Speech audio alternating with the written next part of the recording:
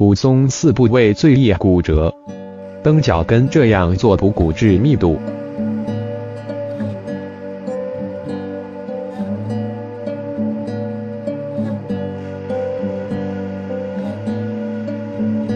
四部位易骨折，骨松患者的致命伤。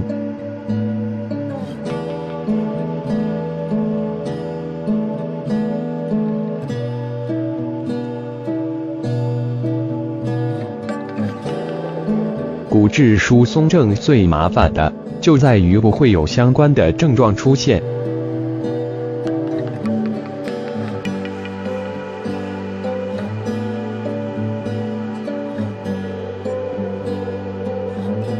在罹患之后，即使病况发展到相当程度，大部分的病例也还是看不出症状。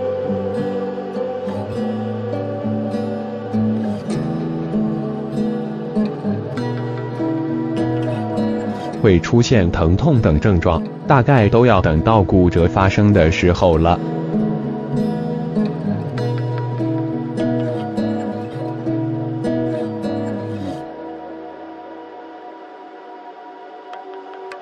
由于此症就是缺乏自觉症状到这种程度，所以会说骨折以后我才注意到的人，依然不断出现。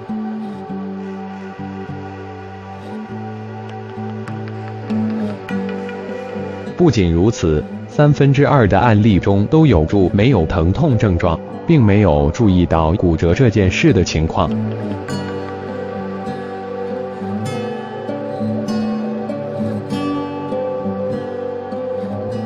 所以，应该能够理解为何骨质疏松症会被评价为麻烦的疾病了吧？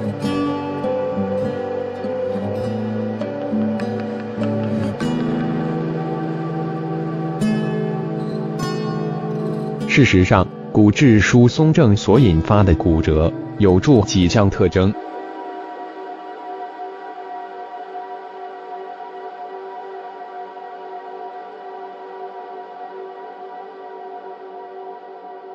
若能够了解这些，或许就可以早一些留意到患病的事实，避免骨折的情况发生。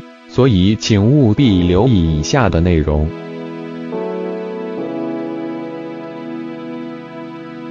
易发生骨折的四大部位。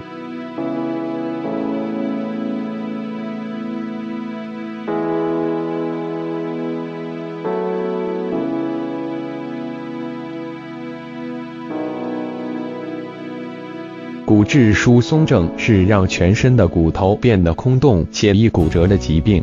我们身上特别容易骨折的部位共有四处。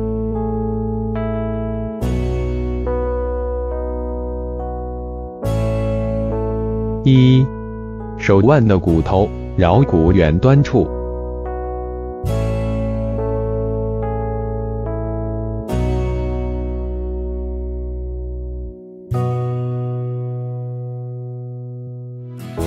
二、背部或腰部的脊骨脊椎椎体。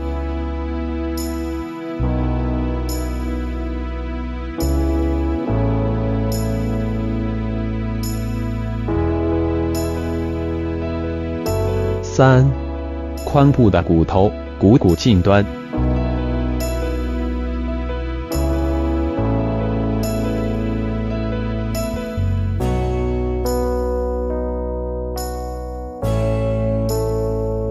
四、上臂部的骨头肱骨近端。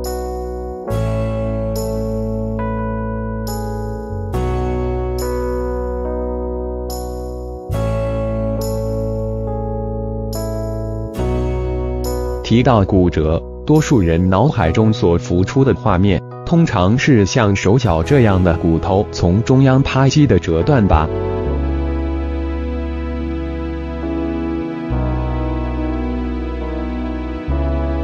但骨质疏松症所导致的骨折，跟这些是完全不同的。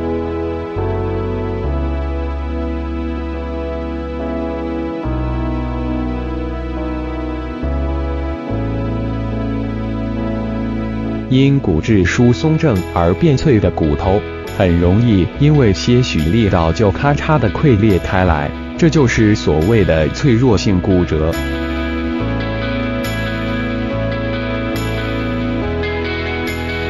先前所提到的四个部位，都是很常会遭遇到外力的地方。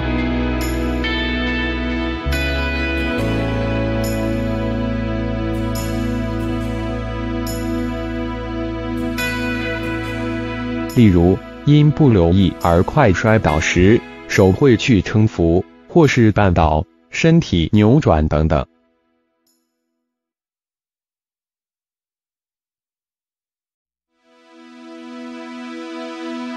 这些情况大家都曾遇过，但如果是健康的骨头，这种程度是不会造成影响的。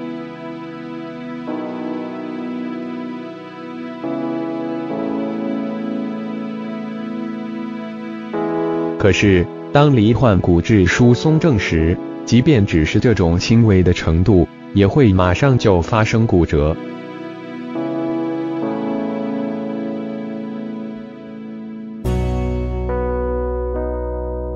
更何况是像跌倒造成臀部住的，或举起重物等情况，当施加了意料外的强大外力时，发生严重骨折的案例也很常见。像这样的骨折，不管是哪个部位，只要发生一次，后果便不堪设想。而且骨质疏松症的患者还需要更长的时间才能恢复。在这期间里，腿腰部的肌力会减弱，甚至可能演变成需要卧床休养的情况。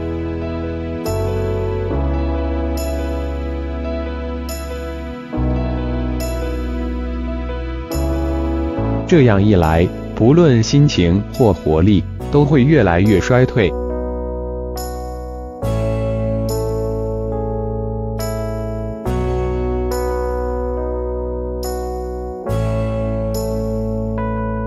骨质疏松症导致的骨折，不仅影响身体机能，还会夺走心理的健康状态。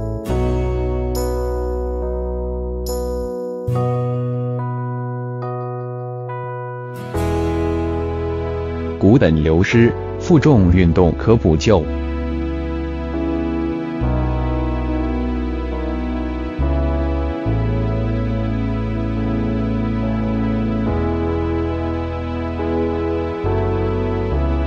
想要让骨头变得强健，运动是不可少的。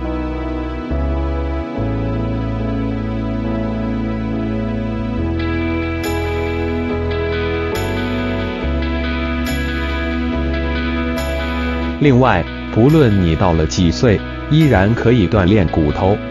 相信这些各位都已经了解。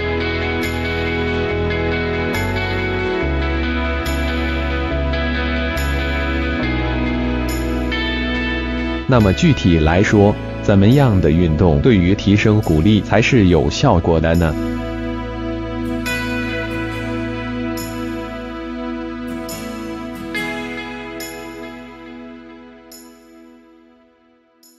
事实上，并非所有运动都可以达到效果。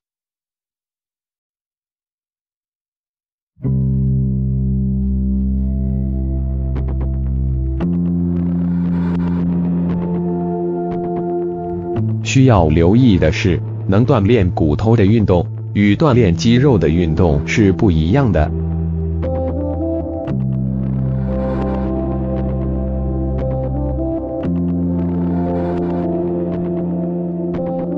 再重复一次，要集邮运动让成骨细胞活化，达到促进钙质沉附到骨头上的效果，所必须的条件是要对骨头施加重力或冲击。也就是给予适度的负担。正因如此，举例来说，像是有助浮力作用、让重力减轻的游泳项目，因为并不会给予骨头负担，所以难以期待会产生锻炼骨头的效果。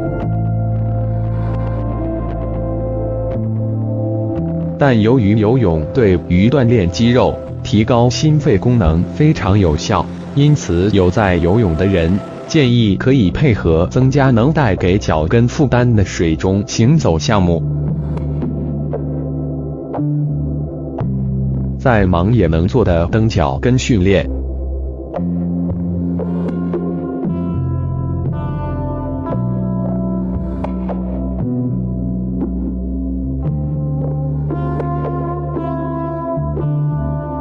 我最推荐的骨头锻炼法就是蹬脚跟及迷你跳跃这两种方法。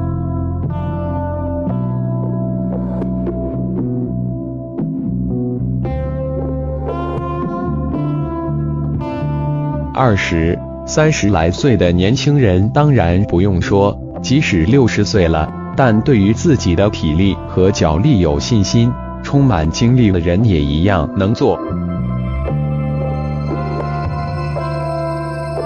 这两种方法都能够机械性的对骨头施加负担，拥有促进骨形成、打造强健牢固骨头的效果。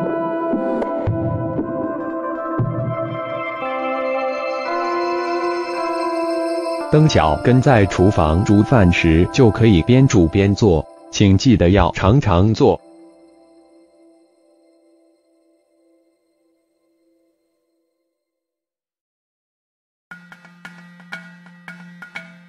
而迷你跳跃能够对骨头施加打体重数倍的负担，可以期待会产生很好的效果。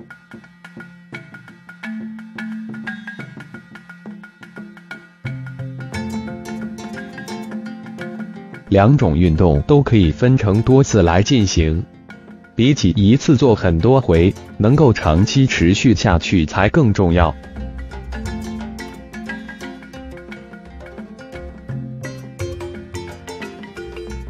对骨头施以重力或冲击时，会活化骨细胞。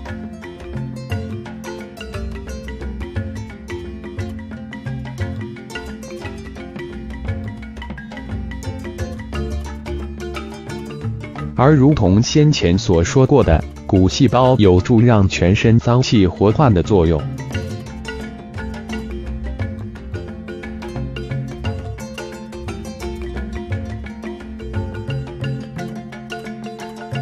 即由锻炼骨头来活化骨细胞，不仅能够防止骨头老化、恢复青春，更与全身的年轻化有助关联。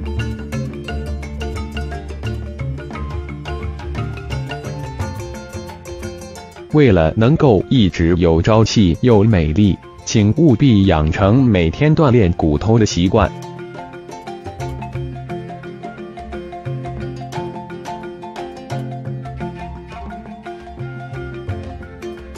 蹬脚跟。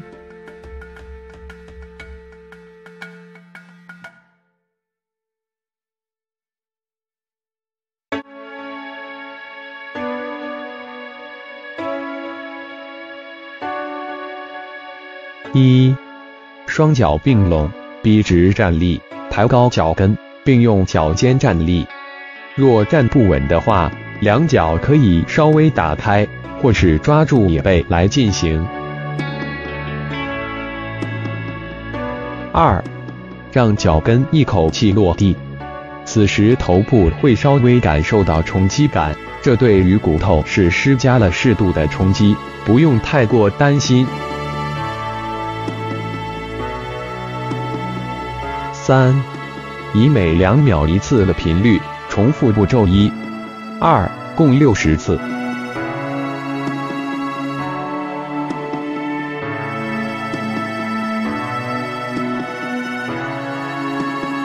迷你跳跃。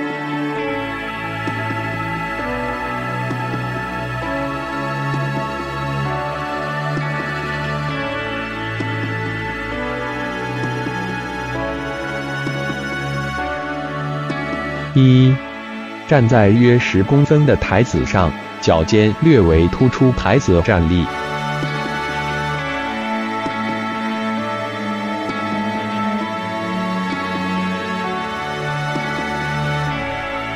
二，从该处轻轻跳起，落到地面。